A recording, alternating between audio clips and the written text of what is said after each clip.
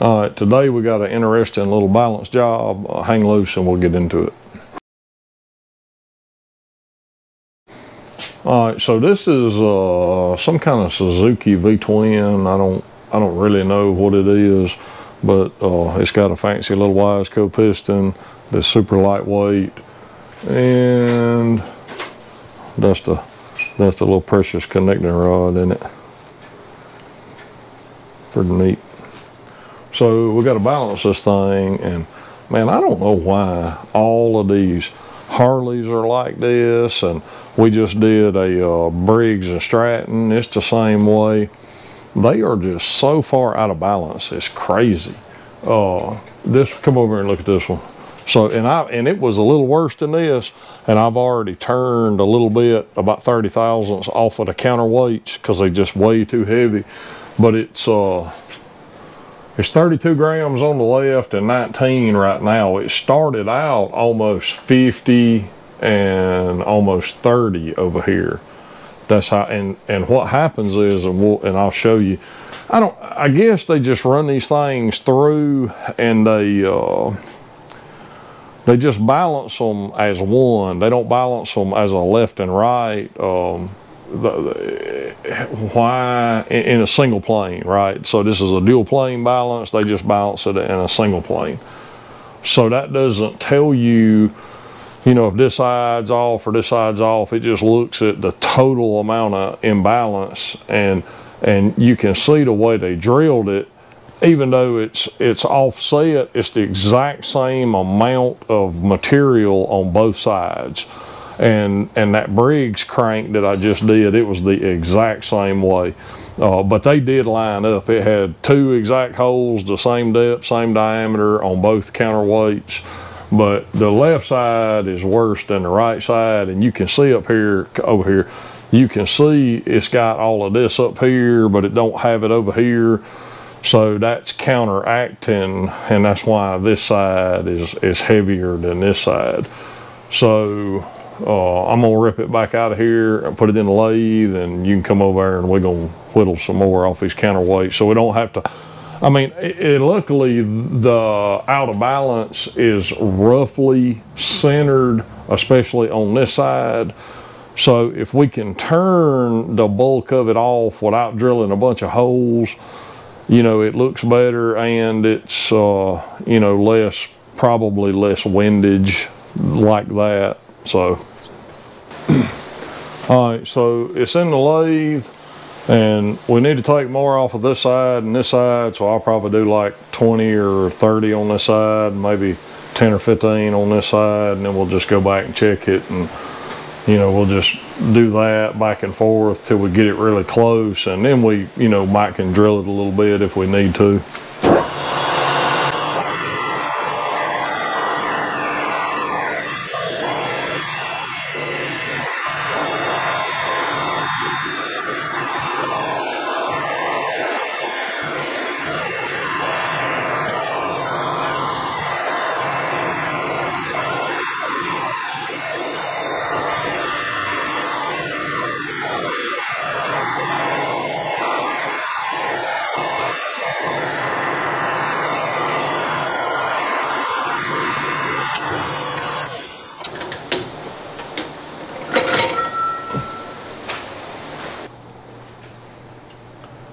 31 and 19.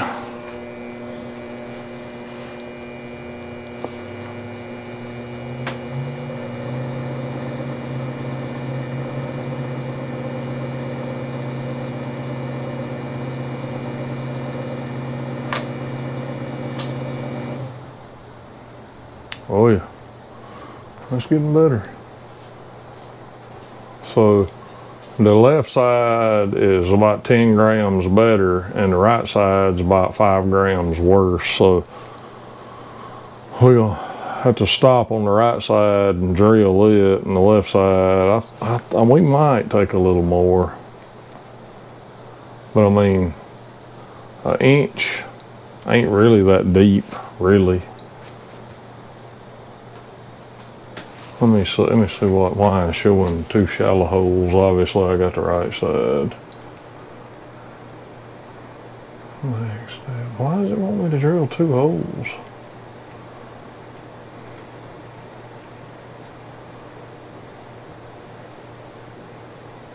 Hmm.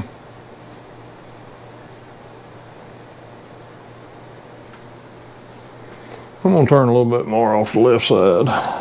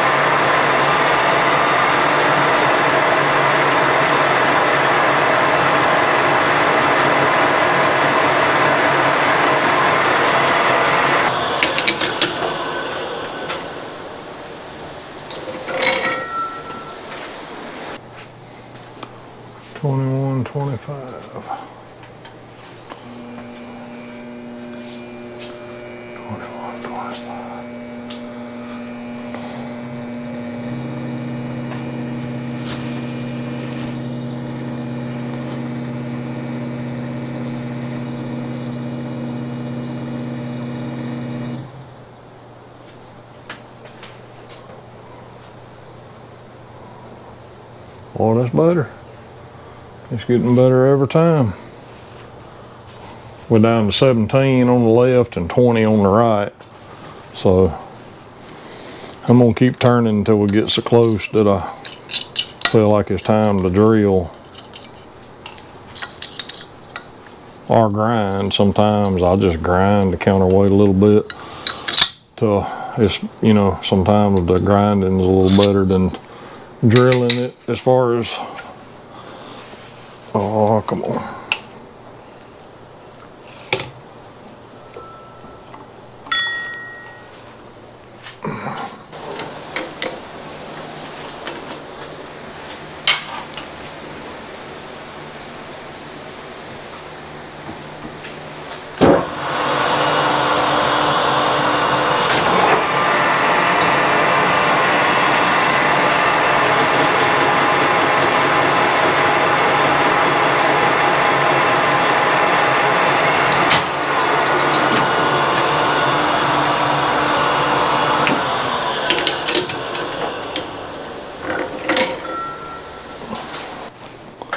So 17 and 20. 17 and 20.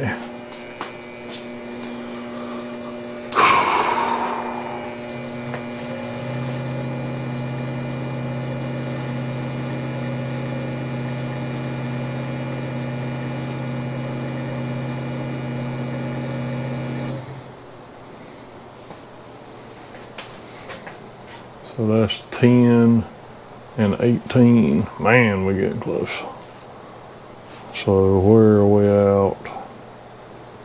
So now the, the it's a little off center on this side. It ain't enough that we can't turn it some, but the out of balance is like here and center is like here. So we we I don't know 10, 20 degrees off center. So but we still got a little bit we can turn before we got to start drilling.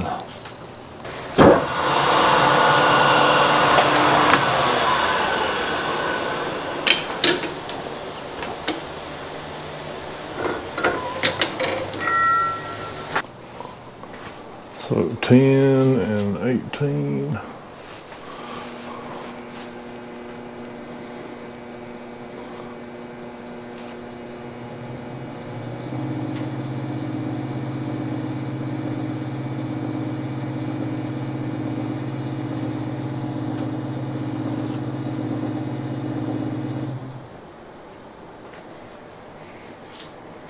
So we seven and thirteen. I mean, it's just we're just getting closer and closer.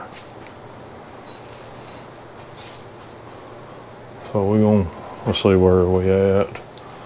So we are still about the. So this one's this one's getting over here.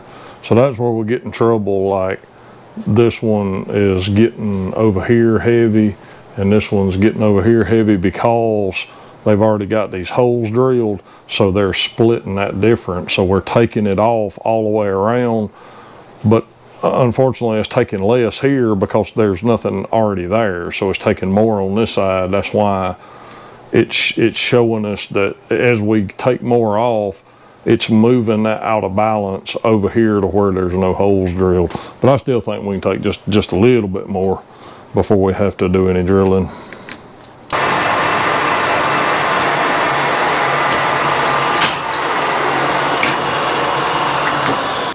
Seven and 13.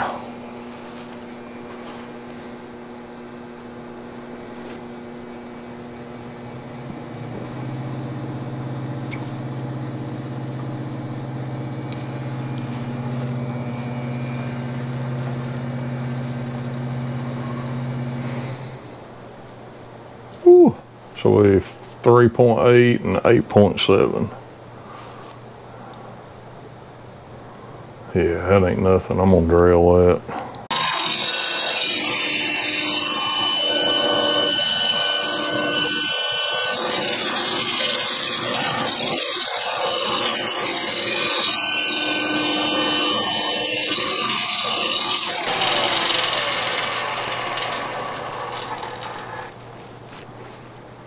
So four and eight.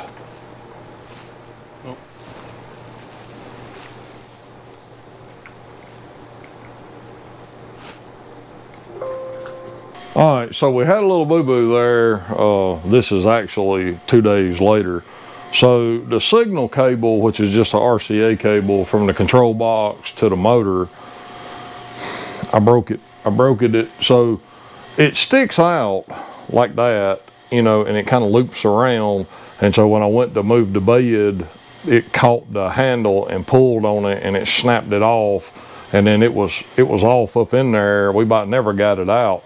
So I messed around and found um, a 90 degree cable that's braided on Amazon and they delivered it this morning and that and that put us back in business. Um, so I spun it again. I had to work on it just a little bit more. We was down to like almost three grams. And it, you know, sometimes in dual plane, when you're working on one side, as you getting closer to balance, you'll see one side to the other, it kind of shifts away from each other.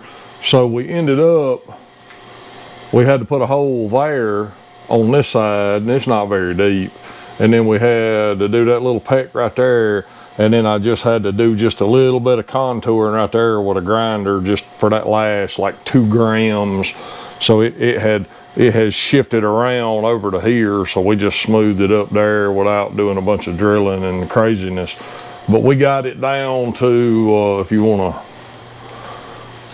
so it's under a gram on both sides so that's you know more than adequate for the application. So, uh, and we did we did a, a two-cylinder Briggs before this one, but unfortunately we didn't have time to film it. Um, but it had to get uh, two pieces of Mallory on one side and a piece of Mallory on the other side.